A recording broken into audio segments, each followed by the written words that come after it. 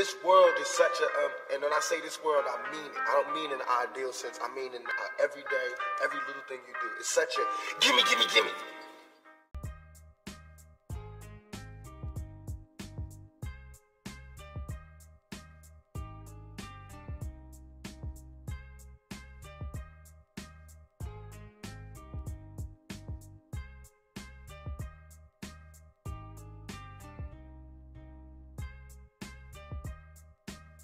What's going on YouTube? It is Adrian So Fresh and welcome back to the Adrian So Fresh channel. This is another highly requested video. This is going to be a tutorial on how to make my playmaking shot creator. So I do use my playmaking shot creator anytime that I use I play the threes. Whenever I play the twos, I use my score machine. But whenever I ever I uh, whenever I play the threes, I use my playmaking shot creator just for the fact that he has a lot more playmaking in his build. Um, I am going to be using this build during formula. The last formula that I played, I did place uh, around the 60s you know um, but hopefully this on this next formula i will be live streaming it. We're trying to aim to hit top 10 i couldn't hit top 10 last time because i had to switch teammates like three or four times. And uh, i stopped playing the last hour of formula just because i couldn't find the teammates uh, so i just had to give up. But hopefully on this next formula we hit top 10 and this is going to be the build that i use to win formula. So it is going to be a point guard and the pie chart that we're going to uh, choose is the playmaking and shooting pie chart because we are making a playmaking shot creator. Now obviously you want to go with the speed. Anytime you're a guard you want to go with the speed. You're trying to be the quickest person on the court. All right so disclaimer about this build. I don't drive inside. This build can drive but it's not one of the most consistent uh, finishers uh, I mainly focus on the playmaking, the shooting, and the defense because I have teammates that can cut. I have teammates that can catch lobs, so I don't have to be really worrying about driving inside. I let my teammates be the ones that finish in the inside. So make sure you uh, max out your mid range, your uh, you, know your three point, your your free throw, and then I'm sorry, your free throw. Don't touch that yet. Touch your post fade max that all the way up and then for your free throw just keep moving the, the tick markers until you hit 20 shooting badges 20 shooting badges is all you need uh, I am tweaking this. My playmaking shot creator has 22 shooting badges, but honestly, you don't need those extra two shooting badges.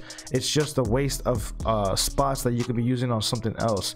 So max out your ball handling, your pack, pass accuracy. If I could remake this build, it would be this one exactly. So I'm going to be hooking you guys up with the even better one than I am using currently. So uh, 20 uh, playmaking badges is what I have, but you can add more.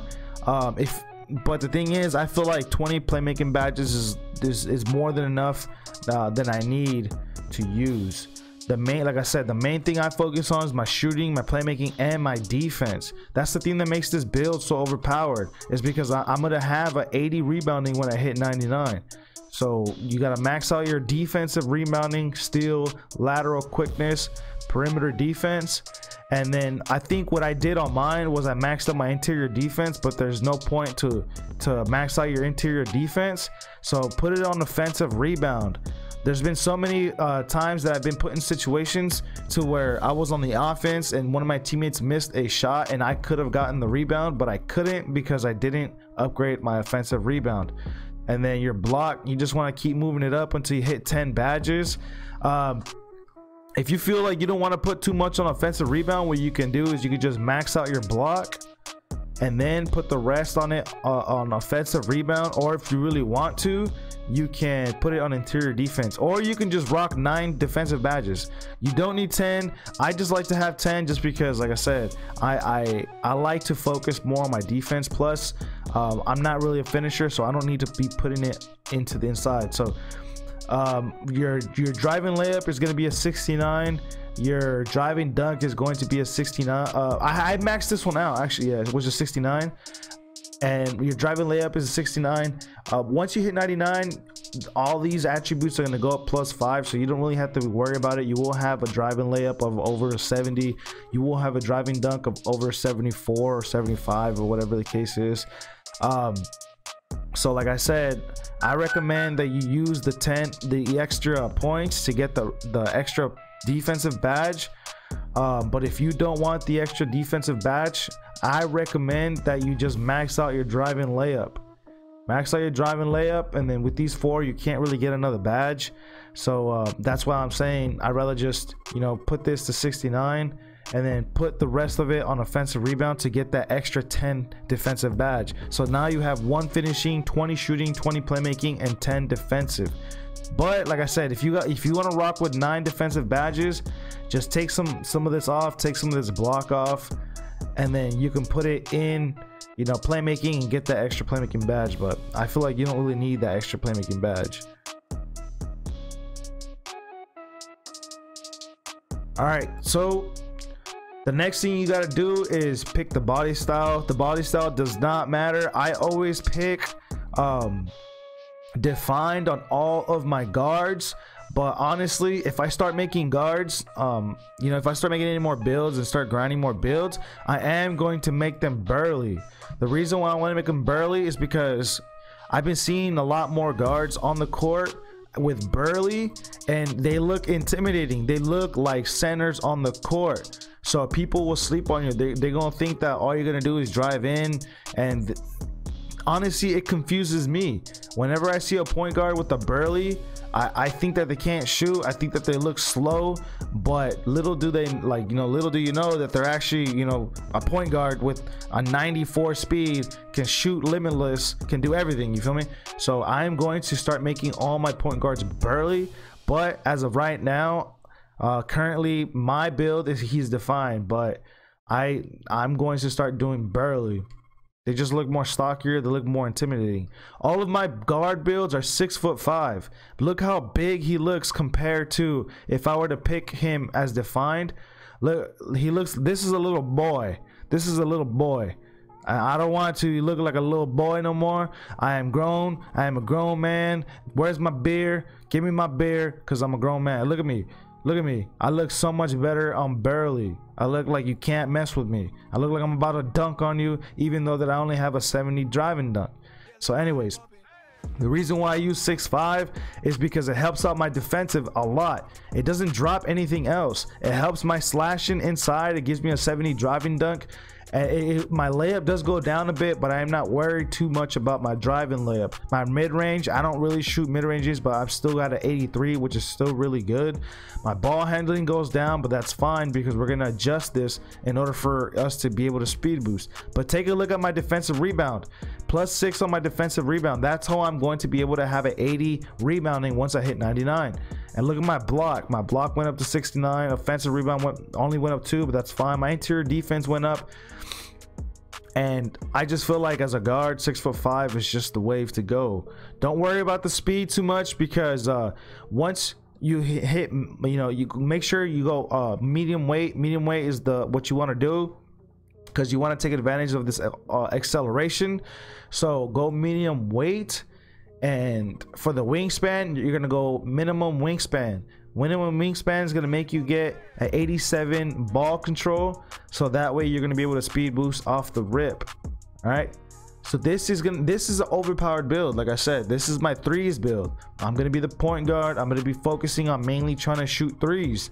I'm not really gonna be driving inside, but even if I do need to, I still can drive inside with the driving uh, with a 70 driving layup and a 67 drive. Uh, I'm sorry, with the 67 driving layup and a and a 70 driving dunk. All right.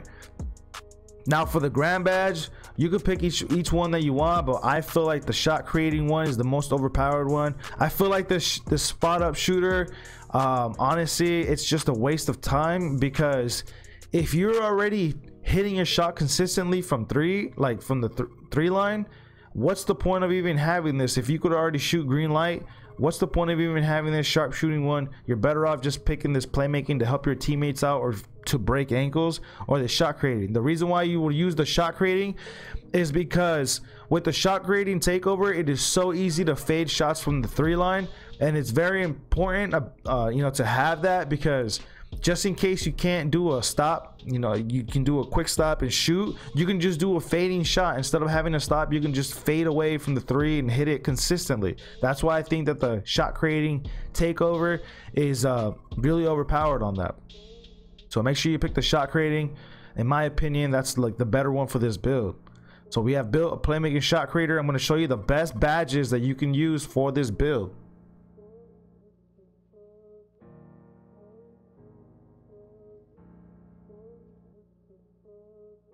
All right, so like I said, don't worry too much about the speed.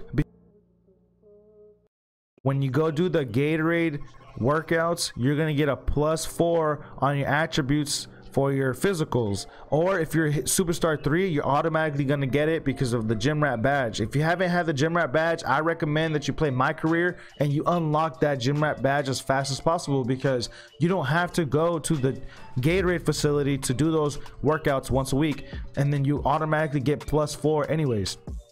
So uh the, the with the plus 4 you're gonna have a 91 speed and then once you hit up to to you know after 95 you're just gonna keep getting a plus one on it. So i believe when when you hit uh 99 on this build you're gonna be about like 95 speed.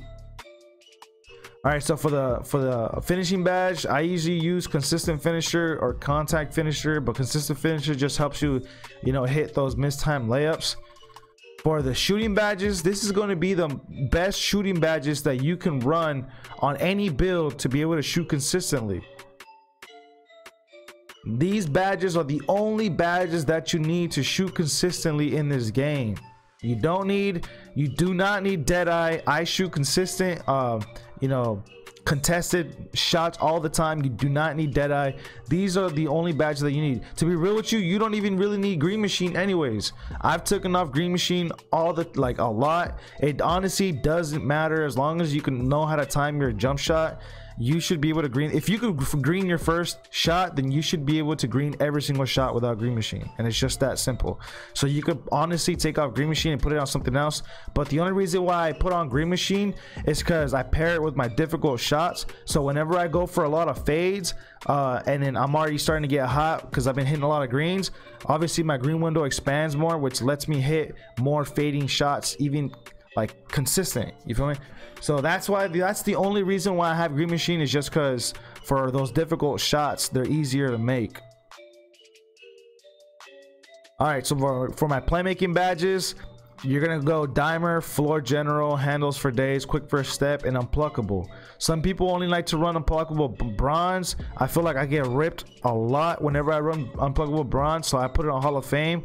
But what you can do too is you can put bailout and you can put needle threader. If you don't need floor general then you can obviously put needle threader and lob city passer. I run these badges right here. If i'm uh you know rep farming i use these badges right here when i'm playing on the twos or the threes that way i can throw a lot of lobs.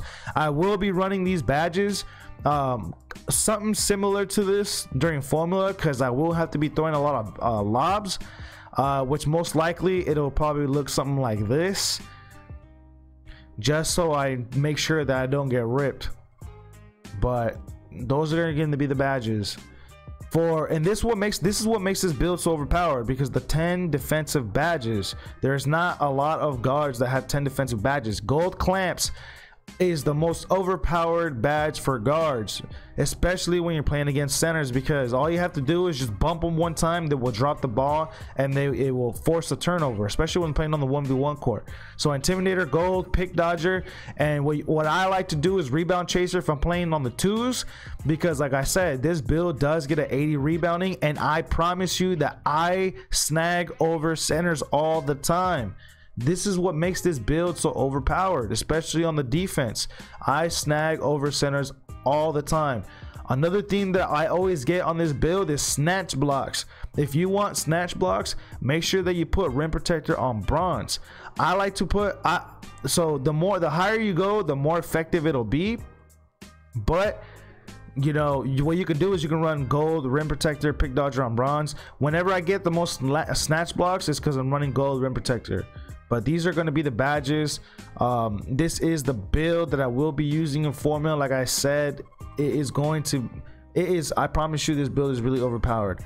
Especially if you run a lot of threes make this build. Let me know in the comment section what you think about it. Like the video subscribe turn on post notification bells. I do live stream every single day at 10 o'clock. We just hit 3000 subscribers so big shout out to fresh squad for for doing that. I'll see you on the next video